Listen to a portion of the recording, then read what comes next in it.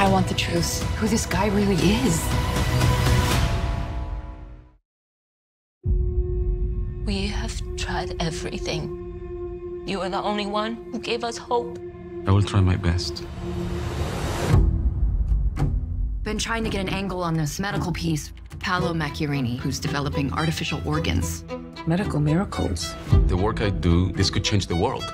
I take a 3D printed trachea and transform it into a living organ. This is groundbreaking work. The implications are historic. Perhaps you'll even bring the Nobel home. I'm producing a special about you. Your patients, they really trust you.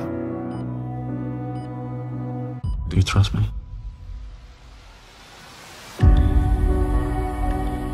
Where is he? Just sicker than any of us expected. He wasn't. Why are you not holding him accountable? The issues are completely unrelated to my procedure.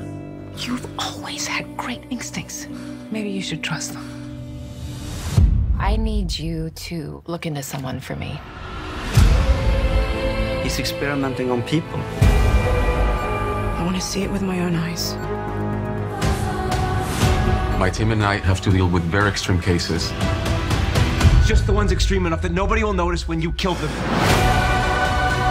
History is built on lines that we must be willing to cross.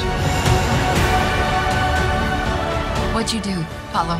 What did you do to them? We have to figure out a way to stop this guy.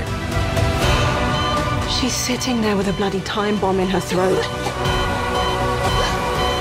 Claire!